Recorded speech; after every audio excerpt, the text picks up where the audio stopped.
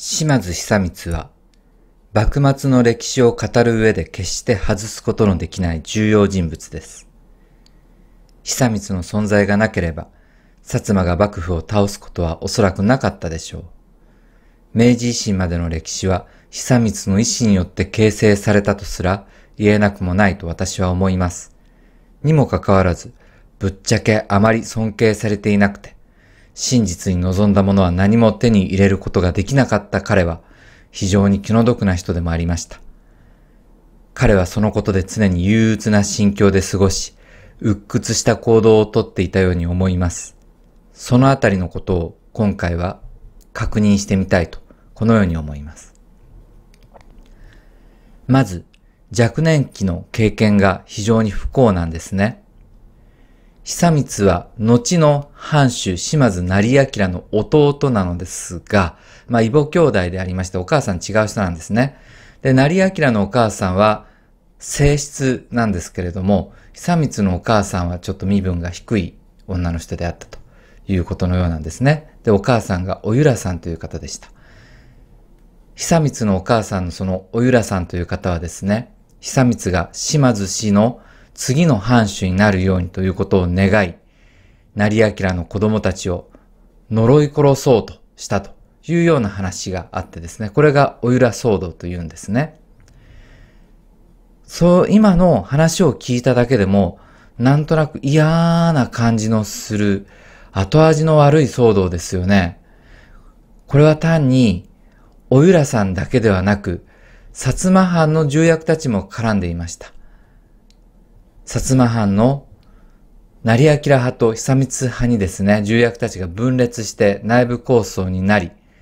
さらにその黒幕にはですね、久光の、まあ、父親になる、あの、当時の藩主の島津成興がいたらしいんですね。で、成興が成明のことが嫌いで、成明を失脚させようとしていたというような話らしいんです。非常にですね、あの、高貴な島津氏の家の内側としては複雑回帰な、ややこしい、一筋縄では理解できない難しい足の引っ張り合いをしていたということがなんとなくわかりますよね。久光本人は成明との関係は良かったらしいんですね。しかしながらこの、このような権力闘争に巻き込まれてしまい、な、何と言っていいのかわからない嫌な思い出したくもないような青春期を過ごしたというふうに言っていいのだろうなと思います。大変に気の毒です。この権力闘争は表面的にはですね、久光派の優位で進んでいた時期がありました。もう久光派圧倒的勝利かと見えた時期があったんですね。成明派の藩士たちが薩摩を脱出して福岡藩を頼ってですね、事情を訴えるという展開になります。そして、その話がですね、さらに、老中、安倍正宏へと伝わり、安倍正宏が成明派の肩を持つことで、成明による家督相続が実現しました。なんか足元を救われるような話ですよね。で、これ、これをですね、あの、おゆら騒動というわけですけれども、やっぱり繰り返しますけど、後味悪いですよね。なんかこう、気持ち悪いですよね。このようなことを経験するとですね、久光の性格は歪んだに違いないですし、後に徳川義信を擁立して幕政に参加しようとしたしたのもですね、おゆら騒動の時にですね、自分がされたことを義信にしたんじゃないかな。要するにトラウマの結果なんじゃないかなというようなことを想像してしまいます。成明と久光は仲のいい兄弟であったはずなんですけれども、成明が病気になってですね、彼はあの、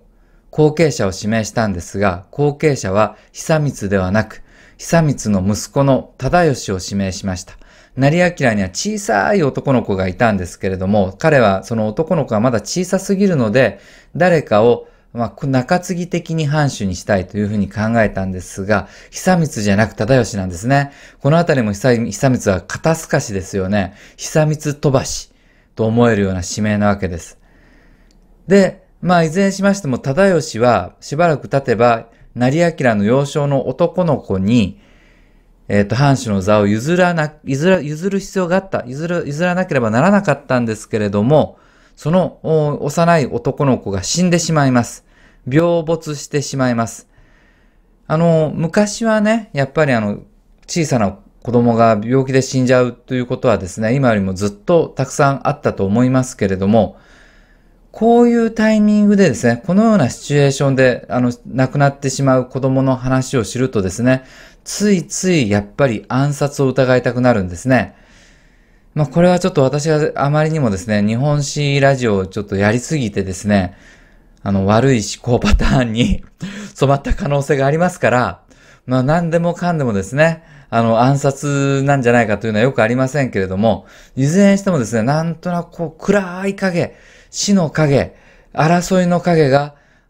島津久光にはつい、常について回っています。でですね、このような苦い経験を若いうちにいろいろした久光でありますけれども、息子の忠義が藩主である以上、彼は藩主を監督する権利を持っていることになります。久光はこれによって藩の政治について独裁的と言ってもいいほどの権力を手にすることができるようになりました。ところがです。ところがなのですが、久光はですね、それをあんまり喜んでいなかったみたいなんですね。なぜなら、彼は確かに薩摩藩内にいる限り最高権力者なのでありますけれども、一歩薩摩を出ると一切の権威も権力もないただの人になってしまったからなんですね。か、もしも彼が藩主であればですね、江戸幕府から大名としての扱いを受けることができます。朝廷も官位をくれたりするわけですけれども、久光にはそういったものが何にもないんですね。で、彼は頭に来ちゃってですね、軍隊を率いて京都へ行きました。と、そしてですね、あの、まあ、中央政治に介入するきっかけをつかもうとしたんですけれども、朝廷からですね、その時に久光に対して与えられた故障はですね、島津三郎でした。こ三郎っていう言い方がですね、もう下級武士に対する言い方ですね。お前は下級武士なんだよというようなことをですね、この故障で明確に示したわけですね。京都の公家社会って怖いですね。ちなみにこの時、京都市内で薩摩藩士同士が殺し合う有名な寺田屋事件も起きております。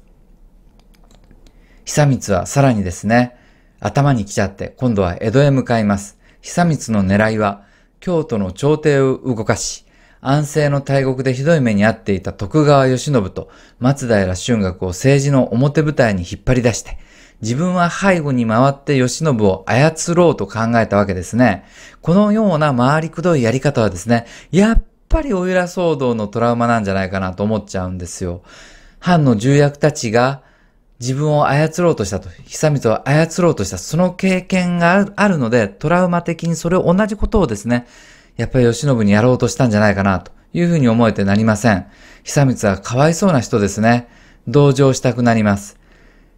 久光の運動の成果が出て、吉、吉信は将軍後見職に就任し、松平春学も政治総裁職に就きます。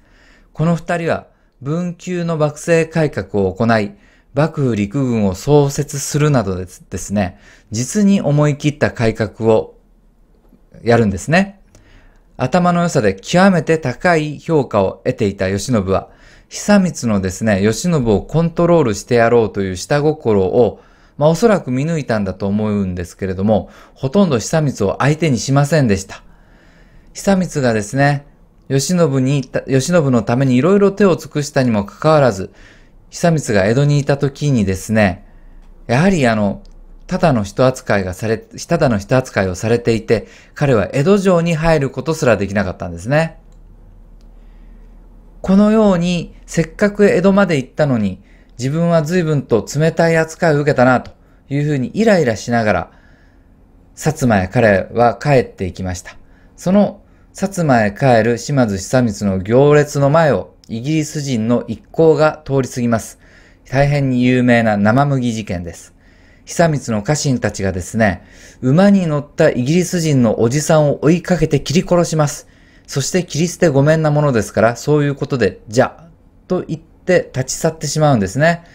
イギリスからの抗議、猛抗議がありました。幕府はですね、戦争になるの嫌ですから、謝罪して賠償金も払いましたけれども、イギリスはそれでは満足できません。薩摩藩からの謝罪と賠償も必要であるというふうに、えー、と要求してきます。しかし、薩摩藩は知らぬ顔を決め込みました。何しろですね、日本の国内法であれば、大名は武士はですね、無礼なことをされたらキリスト御免をしてもいいんだということですから、国内法的に全く問題ないということでですね、あの知りませんというふうにことを決め込むわけですね。結果としてイギリス艦隊が鹿児島まで行って撮影戦争が起きるということになるわけですね。イギリス艦隊は鹿児島の町を砲撃して、鹿児島は火の海、火の海になったそうであります。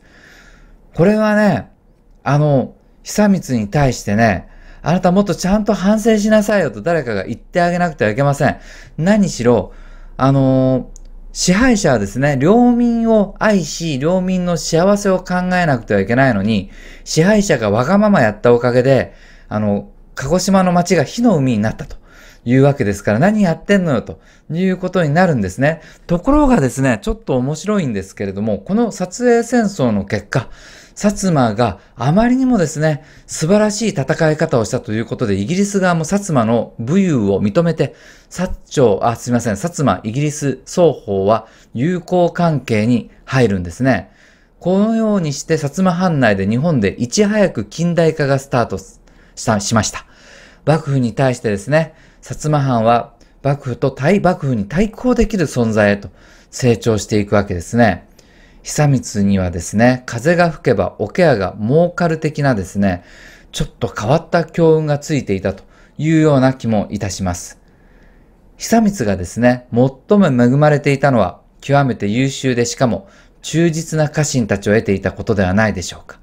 何しろ西郷吉之助に大久保一蔵、小松立脇と幕末維新史のスーパースターたちを久光は自由に使える立場にありました。もちろん、西郷吉之助とは感情的感情的な対立があったということも事実らしいのでありますけれども、それでも西郷はあの仕事ができますからね、命令したらその仕事に対しては何が何でもやり抜くというような優秀な頼れる部下であります。久光はですね、後に吉信打倒を決心いたしますけれども、それが実現できたのは西郷と大久保が命がけで働いたからですね。慶喜が京都で政治の中心にいた時、久光は慶喜に働きかけ、有力諸侯と慶喜が協議して政治の意思決定を行う仕組みを実現するところにこぎつけました。久光はこれでようやく夢が叶いました。政治に参加するというですね、長年の夢を実現するチャンスを得たんですね。しかし、慶喜と協議するというこの首脳、政府、政府首脳レベルの大舞台なんですが、徳川慶喜によってこの舞台はめちゃくちゃにされてしまいます。彼はですね、久光は、この晴れ舞台のためにですね、かつて軍隊を連れて京都へ行き、言うことを聞かない薩摩藩士を殺し、江戸まで行って失で、失意で帰らねばならぬ時に、イギリス人も殺し、さらに、鹿児島の町は火の海にまでなってですね、極めて多大な犠牲を払ってきたにもかかわらず、吉信が全て台無しにします。吉信は久光のことがとっても嫌いだったんですね。吉信はお酒の席で久光のことを天下の愚物と侮辱いたしました。おそらく、本当によってそんなこう前後不覚になってですね、そんなことを言ったのではなくて、酔ったという酔った席だからということにして、言いたいことを言ったと。要するに、久光な、お前なんか大っ嫌いだよ、バーカと。言ってやろう、言ってやろうと思って、今だ言ってやれと思って言ったんだと思います。吉信はですね、大正時代にインタビューされた時もですね、久光のことはあんまり好きじゃなかったと、非常にやんわりとですね、あいつのことは死ぬほど嫌いだったという意味のことを言っています。そのようなことがあってですね、えー、っと、この久光が参加した諸行会議は頓挫してしまい、久光はそれまで慶喜を盛り立てることで政治に参加するというような方針を持っていたのを捨ててですね、慶喜と、慶喜と徳川幕府を打倒するというふうに、あの、考えを変えます。そして彼は、あの、薩摩へ帰るんですね。で、あとは西郷と大久保に命じておけばですね、部下たちが勝手に倒幕してくれるという実に便利な感じだったわけですね。そして西郷と大久保は本当に倒幕いたしました。久光の個人的な権力への渇望がですね、日本の歴史を大きく変えたのだと思うと、非常にですね、影響力のある、とてつもない自己中心男が久光であったということができるかもしれません。しかしながら、さらなるどんでん返しが久光を待っておりました。なんと、廃藩置県で久光の権力の基盤そのものが、西郷と大久保によって奪われてしまったのです。久光は死ぬまで西郷と大久保に騙されたと言っていたそうですが、このあたりは究極のところでですね、足元を救われてしまう久光のかわいそうなところなんですね、きっと。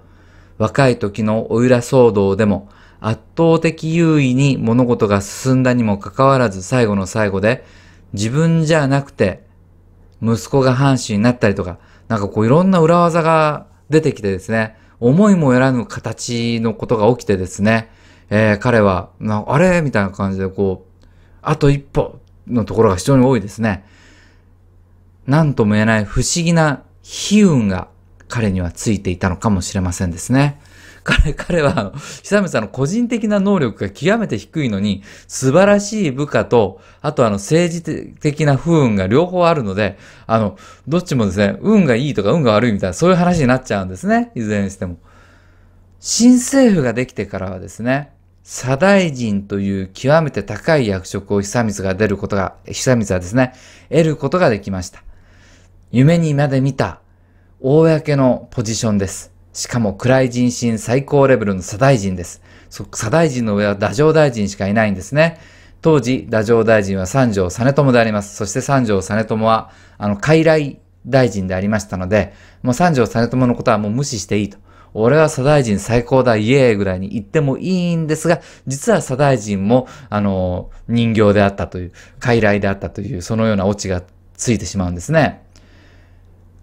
その後、西郷が西南戦争で命を落とし、大久保も暗殺されるわけですけれども、そのようになりますと、久光の処遇を心配してくれる人もいなくなってしまい、それまではですね、あの、西郷と大久保がせめて左大臣、形だけでも左大臣とか言ってくれたのがですね、そういうこともなくなっちゃってですね、一人薩摩でイライラしたような、鬱屈したような日々を送らざるを得なくなってしまいました。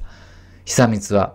島津市課長という極めて恵まれた立場にありながら、欲しいものを全く手に入れることのできなかった、本当に気の毒な、それでいてやっぱちょっとね、笑ってしまいたくなるような人生を歩んだ人なんですね。ただ、そんな風になっちゃった要因がですね、彼が悪いとは言えない。おゆら騒動でやっぱりいろんなことがトラウマになっちゃったんだと思うとですね、もう少し真剣に同情してあげたくなります。またですね、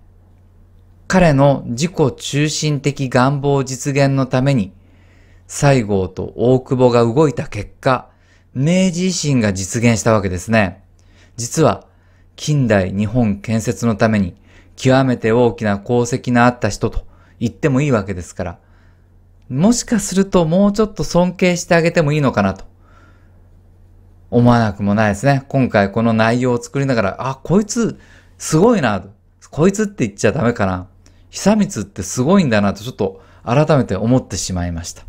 えっ、ー、と、幕末というのは非常に魅力的な時代で、久光もその魅力的なあの時代を作った一人の男であったわけですね。では、えー、今回はこれで終わります。ありがとうございました。